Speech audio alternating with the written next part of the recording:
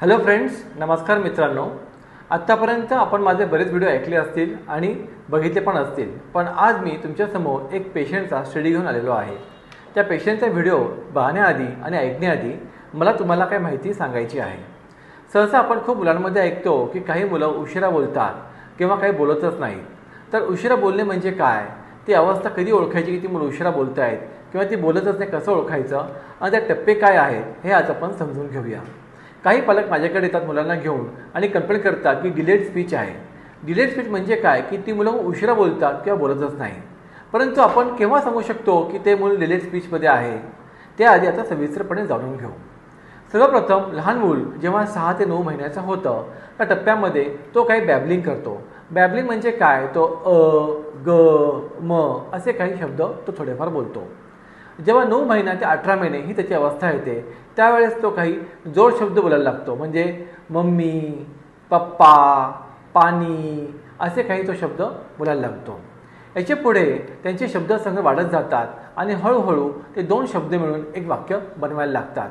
ही अवस्था साधारणतः चोवीस महिने ते अठ्ठावीस महिन्यापर्यंत असते.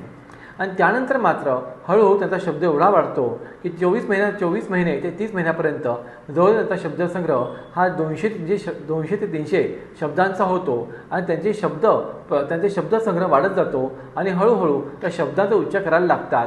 आणि साधारणतः तीन वर्षानंतर ते तीन ते चार शब्दसमूहाचा एक वाक्य बोलायला लागतात.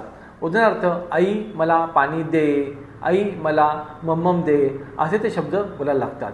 जेव्हा या प्रोसेसमध्ये थोडा उशीर होतो किंवा मुलं दहा बा बारा महिने झाले किंवा सोळा महिने झाले ते बॅबलिंग पण करत नाही एकही शब्द बोलत नाही त्यावेळेस मात्र आपण सांगू शकतो की त्या मुलाला किंवा त्या लहान मुला बाळाला डिलेट स्पीच आहे.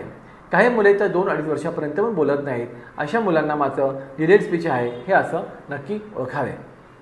तर डिलेट स्पीच तर ही एक केस माझ्याकडे आली होती. आईने सांगितलं की माझ्या मुलीला डिलेट स्पीच आहे. पण त्याचबरोबर ती मुलगी अत्यंत हट्टी पण होती आणि रागीटही होती. तिचा आणि तिला सतत सर्दी खोकला व्हायचा. सर्दी खोकला एवढा व्हायचा की जेव्हा त्या सर्दी खोकला व्हायचा त्यावेळी ते छातीतनं घरघराचा आवाज यायचा आणि तिचा स्वभाव खूप रागीट व्हायचा. तिच्या रागामुळे पालक तर वैतागच होते. पण जर कोणी गेस्ट आले घरी कोणी पाहुणे आले तर त्यांना पण ती मारायची आणि हाकलून लावायची असा तिचा स्वभाव झाला होता. इतर मुलामध्ये ती मिक्सअप पण होत नव्हती त्यांच्याबरोबर ती खेळत पण नव्हती एकटी एकटी राहायची आणि जर कुणाच्या घरी गेले तर ती आईवडिलाबरोबर फक्त त्याच्या बाजूलाच राहायची. अशी मुलगी होती. पण जेव्हा माझ्याकडे आली जेव्हा तिला औषध चालू केले होमिओपॅथिक औषध चालू केले त्यानंतर माझा तिच्यामध्ये खूप फरक जाणवला. तिचा स्वभाव हळू सुधारला आणि तिच्यामध्ये अमूलगार बदल झाला. याला म्हणतात बिहेवियल डिसऑर्डर तर अशा प्रकारे होमिओपॅथिक औषध बिहेवियल डिसऑर्डरमध्ये पण काम करते.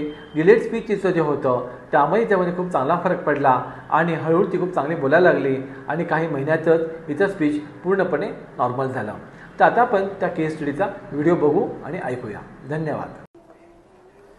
ही माझी अ, तिला प्रॉब्लेम होता की डिलेड स्पीच होतं आणि खूप हा हायपर असायची. चिडचिड प्रचंड होती तिची. खूप म्हणजे खूपच चिडचिड की आम्हाला कुठं बाहेर घेऊन जाणं जमत नव्हतं.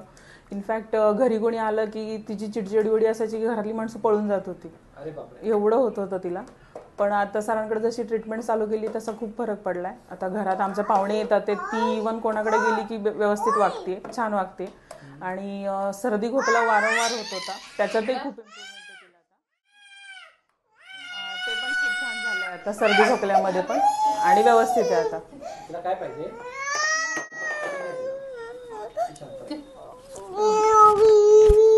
हो हे आता काय काय बोलते शब्द आता ही? आता आपण जे बोलू ते आपल्या मागे रिपीट करते. अच्छा आता बोलायला लागली आता? आता बोलायला लागले. एखादं उदाहरण दाखव मला. तुला माशा आणि बियर बघायचं? माझ्या बियार हा. अच्छा आता बोलते ते. आता बोलते. हो माशा बियर बघायचं माशा बियर बघायचं. अजून काय? आपण आता कविता पोएम म्हणायला लागलो जॉनी जॉनी वगैरे. तर ती पण म्हणते पण फक्त एवढंच आहे अजून की तिच्या moods वरती आधारित आहे मूड जसे असतील त्यानुसार बोलणार. जर सपोज आता हे तुम्ही सगळेजण बसलात मग नाही. पण जर आम्ही दोघीच असलो ना मग ती खूप बडबड करणार. ठीक आहे. अं, स्वभावात काय फरक आहे आता? प्रचंड फरक पडलाय. चिडचिड खूप कमी झाली तिची. पहिले आपण काही बोलायला गेलो की ती अजिबात ऐकून घेत नव्हती आपलं. आता ऐकते व्यवस्थित आणि आपल्याला हे रिस्पॉन्स देते व्यवस्थित. पहिले रिस्पॉन्स नावाचा प्रकार नव्हता. असं वाटत होतं की आपण बोलतोय का नाही बोलतोय हे तिलाच कळत नाहीये. पण आता कळतं तिला. आता कळतं आता ओरडलेलं कळतं. चॉकलेटचं प्रमाण इतकं वाढलं होतं तिचं की ती अक्षरशः दिवसाला तीन तीन चॉकलेटच्या कॅडबेऱ्या खात होती. पण आता खूप कमी झालंय. खूप कमी झालंय. आता आम्ही ओरडून तिला सांगितलं की हे चूक आहे हे रॉंग आहे हे खाणं तुझ्यासाठी वाईट आहे. तर मग ते तिला समजतं आता की हे चांगलं नाही हे चांगलं आहे खायला. ती उलट आम्हाला विचारते खाताना हे चांगलं आहे का? मग हे खाऊ का? असं विचारते ती आता.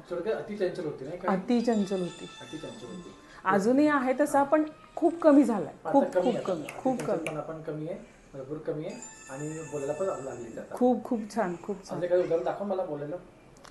मनू तू काय बोलणार आता? त्यांना विचार जेवण झालं का? मनू मनू डॉक्टरांना विचार ना जेवण झालं का? मनू आता ती एकदा मोबाईलमध्ये गुंतली ना की गुंतली? पण खूप छान आम्हाला म्हणजे खूप सॅटिस्फाईड झालं. आम्ही ॲलोपॅथीची ट्रीटमेंट घेतली होती तिची. अरे बाळा हा हा हा आहे. ॲलोपॅथीची ट्रीटमेंट आम्ही तिच्याकडे गेली होती ना. तर तेव्हा कसं होतं ते ती दर दीड महिन्यानंतर आजारी असायची. आणि तिची चिडचिड पण एवढी होती की आम्हाला टेन्शन आलं. एक तर ताईला खूप वर्षानंतर राहिलं होतं. मग आम्हाला ते टेन्शन आणि त्याच्यात ते दोघं जण असे. आणि ती सगळी रिस्पॉन्सिबिलिटी माझ्यावरती पडत होती. मग मला टेन्शन यायला लागलं होतं की अरे कसं करायचं म्हणून हे नाही येत दोघांनाही बोलता येत अजिबात नाही अजिबात नाही. पण त्यामुळे पण हिचं मला टेन्शन यायला लागलं होतं. पण तुमच्याकडे जशी ट्रीटमेंट सुरू केली ना की मला सिरियसली म्हणजे खूप म्हणजे खूप भारी वाटतं आता. की हा हे बेटर आहे. इनफॅक्ट मी माझा चाइल्ड प्लॅन करते आता मी पण हा विचार करते की मला इन फ्युचर मी इकडेच ट्रीटमेंट घेणार म्हणून. खूप छान आहे. Thank you okay